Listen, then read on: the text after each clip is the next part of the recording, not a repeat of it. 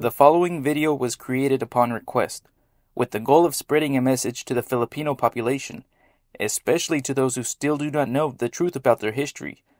This continues till this day due to generations of North American ideological influences.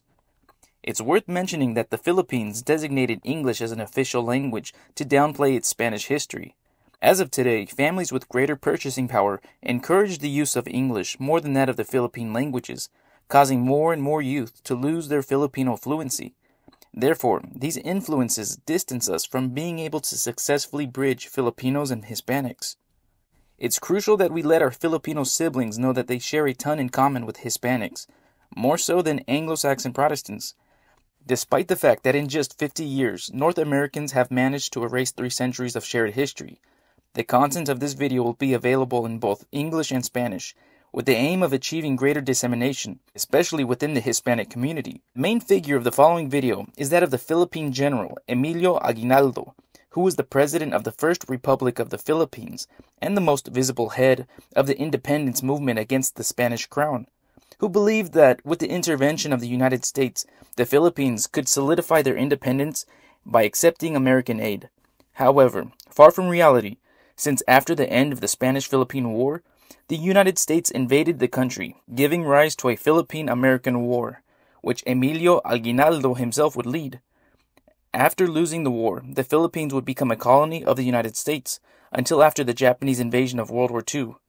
The Philippines would achieve its independence from the United States in 1946.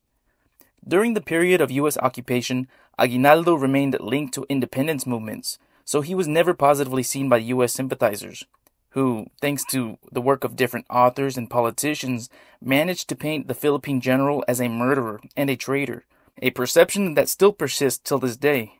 Among the majority of the Philippine population, Emilio Aguinaldo is still seen in this light. The general who was once the main architect of the Philippine independence from the Spanish crown.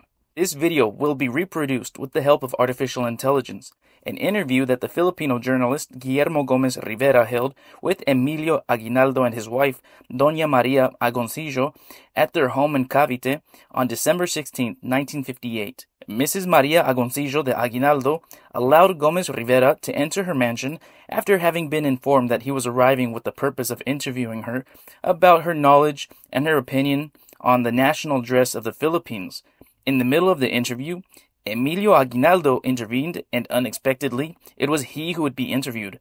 Gomez Rivera did not publish his interview at the time because his family asked him not to do so, since the interview was conducted only a few years after the independence of the Philippines from the United States, and its content could have been considered as highly compromising. Now there exist other winds of freedom in the Asian country, the 86 year old veteran journalist considered that the time had come to publish it in order to expose many historical errors about President Aguinaldo and the Philippine nation. In the book True Version of the Philippine Revolution, Emilio Aguinaldo details some of the events that are discussed during this interview. This book can be read and downloaded for free from the Project Gutenberg portal. I'll leave the link in the video description. The following is that interview. Ma'am, in view of the controversy in the newspapers about Filipino national dress as it is now made by couturiers or dressmakers, what would you say? That the national dress without its scarf or alampay on the shoulder ceases to be Filipino. Ma'am, are you against its modernization? The national costume of the Philippines should be respected the form should not be destroyed. Costumes with its influence may be made, but this should not change how the national costume of the Filipino woman appears.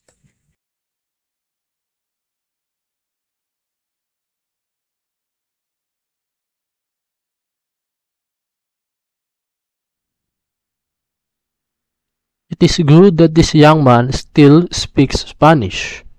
What about the national dress?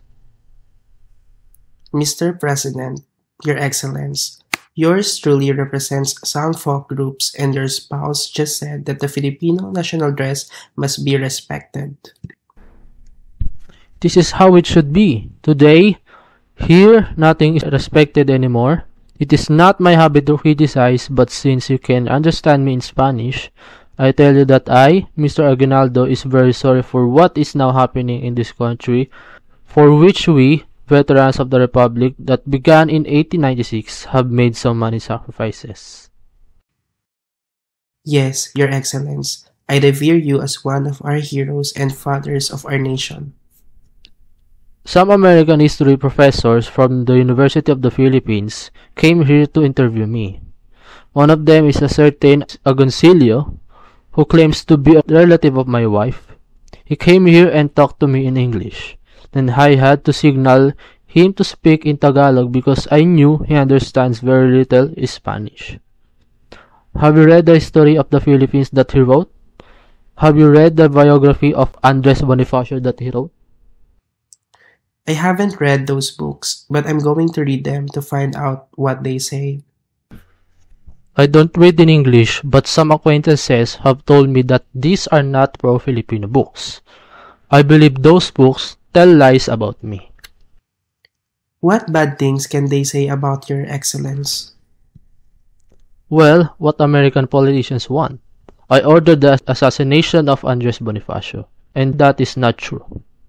I had my differences with Andres Bonifacio, but these new events want people to have a bad image of me while the abuses and cruelties committed by the Americans are unfairly being covered up to justify their invasions and bloody annexation of the Philippines.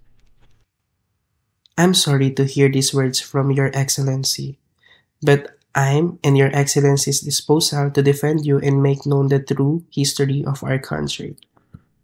That's it, the true history of our country, particularly the true history of our revolution against Spain and our war of resistance against the American invaders who even today are still watching me in my own country. Your Excellency has a loyal follower, one more soldier, on this, your servant. Could Your Excellency summarize for me the history of the revolution against Spain?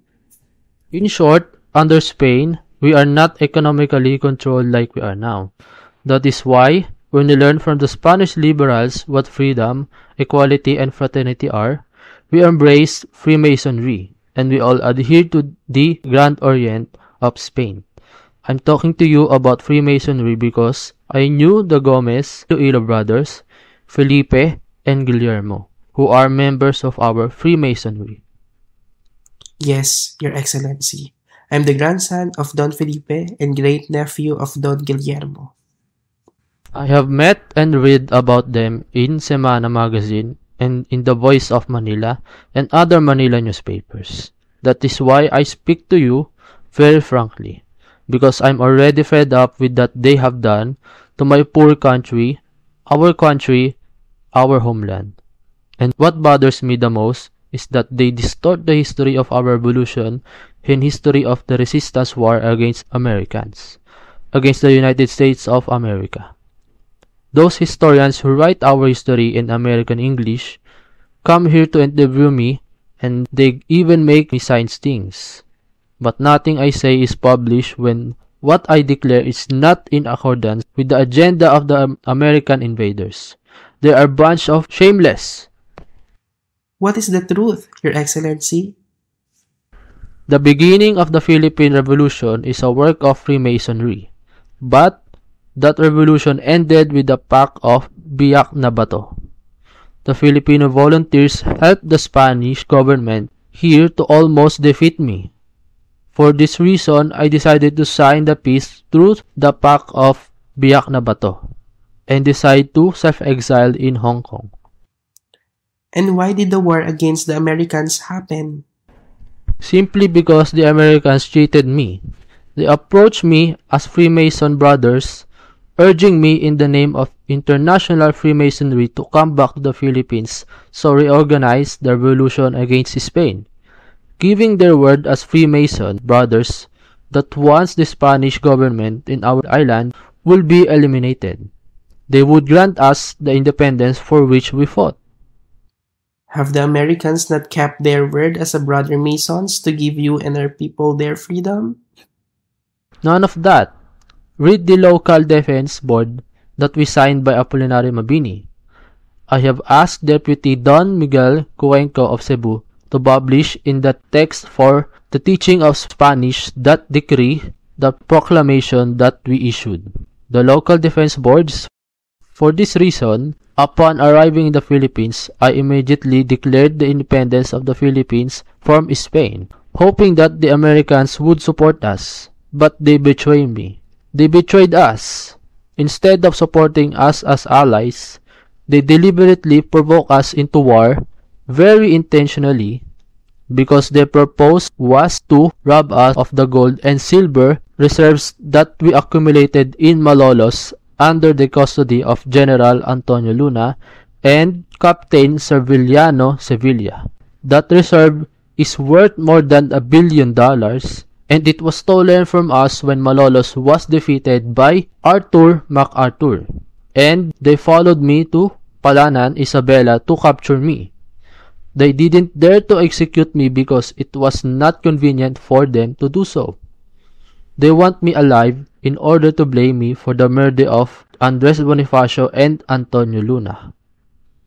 How did the Americans manage to intervene in these murders, Your Excellency? They are very cunning.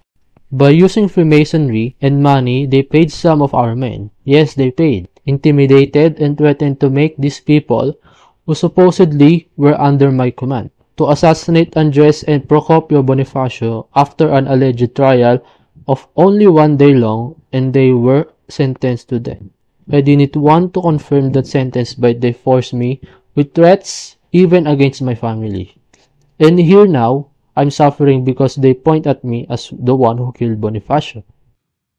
And what about General Antonio Luna? The same. They manipulated me and set everything up for me in Cabanatuan and then they blame me.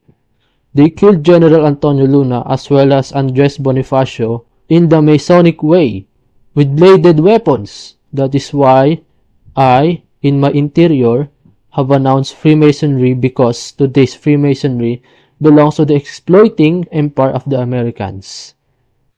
My General, Your Excellence, this truth must be published that is precisely why I'm telling you now, because you will be the one who will make it public in the future so that our people know their true history. Do you regret anything that you have done in your life? Yes, I largely regret having risen up against Spain, and then that is why, when they celebrated in Manila, the funeral for King Alfonso of Spain. I appeared at the cathedral to the surprise of the Spanish people, and then they asked me why I had come to the funeral of the King of Spain, against whom I rose up in rebellion. And I told them that he is still my king because under Spain, we are always Spanish subjects for citizens, but now, under the United States, we are just market of consumers for their sports. When not pariahs, because they have never made us citizens of any state of the United States, and the Spanish made way for me and treated me as their brother on that significant day. Your Excellency, what can you tell us about the future of our country? At this point at my age, I think that the Philippines will remain a colony of the United States because the campaign of forcing the English language on our children is relentless and leads to the Philippinization of our future generations. Even more so, because they lose the necessary knowledge of the Spanish language, which is official Tagalog of our First Republic. Are you at peace with yourself, Your Excellency? Yes, I have returned to my religion, the one which we inherited as Spanish subjects. And like the old soldier that I am, I will slowly pass away to a better life with a clear conscience, with nothing more than the satisfaction of having honestly served my country with my possibilities and despite limitations. Thank you, Your Excellency.